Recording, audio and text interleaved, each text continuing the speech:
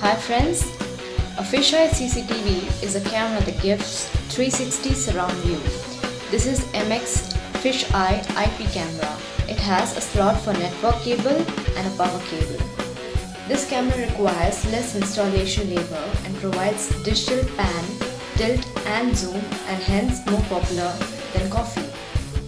Go to Internet Explorer, type in the IP address assigned to the camera and provide username and password which will be given by the company.